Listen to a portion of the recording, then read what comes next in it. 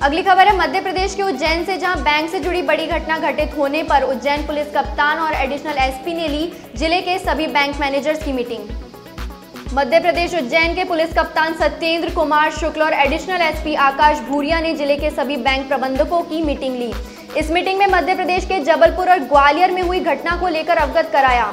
कप्तान सत्येंद्र कुमार शुक्ल और additional SP आकाश भूरिया द्वारा मीटिंग में पहुँचे सभी बैंक प्रबंधकों को बताया आपको आपके क्षेत्र के थाना प्रभारियों से संपर्क बनाए रखना है। यदि कोई इस प्रकार की अवैध गतिविधि या ज्ञात व्यक्ति बैंक के आसपास नज़र आता है तो तुरंत अपने क्षेत्र के थाना प्रभारी और पुलिस को सूचना देकर अवगत कराएँ।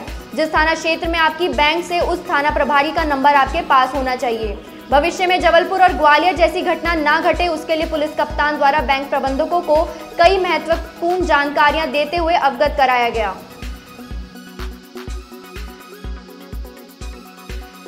बैंक मैनेजरों की मीटिंग ली गई है संदर्भ में ली गई? देखिए, बैंकिंग एक हमारे जो सोसाइटी में इकोनॉमिक ग्रोथ और इकोनॉमिक डेवलपमेंट को लेकर बहुत इंपॉर्टेंट पहलू होता है और इनकी सेफ्टी, सिक्योरिटी भी हमारे लिए काफ़ी इंपॉर्टेंट होती है। पुलिस ऑफिसर के नाते या पुलिस सिस्टम के नाते इनकी जो सुरक्षा है, खासकर जो ए इनके हैं और बैंकिंग जो ट्रांजेक्शन हो रहे हैं इसके अलावा जो इनके यहाँ सिक्योरिटी गार्ड्स लगे हैं, इनका वेरिफिकेशन कराएँ और कई बार इसके सब की एक आरबीआई की गाइडलाइन तय है।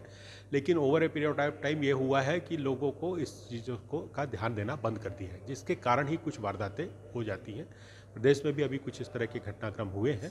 इसको, इन सभी बैंकर्स को इसी क्रम में सेंसिटाइज करने के लिए और उनके साथ एक डिस्कस करके और बेहतर जो सिक्योरिटी और सेफ्टी के जो तरीके हैं उनको अपनाने के लिए, खासकर जिसमें फायर डिटेक्शन अलार्म से लेके सिक्योरिटी अलार्म से लेके इसके अलावा जो सीसीटीवी है और जो बैंकिंग के दौरान जो बैंक के कैश जब ले जाती हैं वैंस ले जाती हैं क्या क्या ध्यान रखना चाहिए, इस पर विस्तार से चर्चा की गई है और आगे आने वाले समय में इनको पंद्रह तारीख तक का समय दिया गया है, पंद्रह मई, पंद्रह मार्च तक का। और पंद्रह मार्च तक जो आज इनको निर्देश दिए गए हैं उसके रिव्यू के लिए फिर अलग से फिर एक बैठक होगी। मध्य प्रदेश में जबलपुर ग्वालियर में बड़ी घटना बैंक को लेकर हुई थी इसके लिए क्या निर्देश दिए? नहीं निश्चित तौर पर दोनों ये घटनाएँ हुई हैं जिसमें एक में एटीएम ब्रेक करने की घटना है दूसरा एक कैश जो वैन से जो लूट हुई है। इस संदर्भ में भी इनसे डिस्कशन हुआ है और उसमें क्या सुरक्षा इंतज़ाम किए जाने चाहिए क्या प्रिकॉशंस ली जानी